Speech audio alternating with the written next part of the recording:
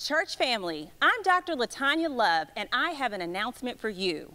Do you know what time it is? It is time to get your flu shot. Flu shots are recommended starting at age six months, and there is no upper age limit cutoff. So, seasoned saints, I want you to get your flu vaccines as well. Unfortunately, the African American community has one of the lowest influenza vaccination rates, yet we are more likely to have influenza-related hospitalization and complications.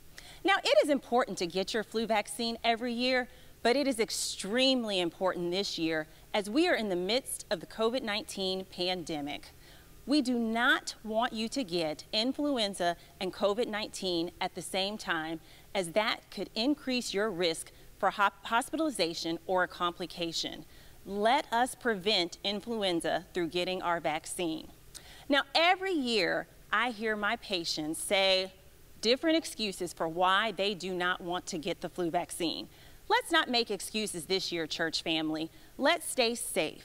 So I want everyone to continue to wash your hands, wear your mask, social distance, avoid large gatherings, and get your flu vaccine.